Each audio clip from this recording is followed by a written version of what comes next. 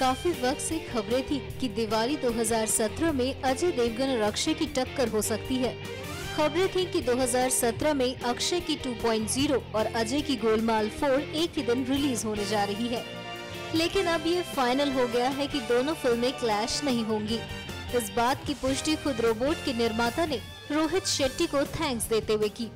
2.0 के डायरेक्टर राजू महालिंगम ने ट्वीट करते हुए रोहित को थैंक्स कहा। खबरों की माने तो अब गोलमाल रोबोट से दो हफ़्ते पहले रिलीज़ हो सकती है।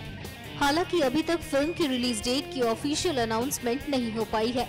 आपको बता दें कि गोलमाल फोर में करीना कपूर की जगह परिणीति चोपड़ा नज़र आएँगी।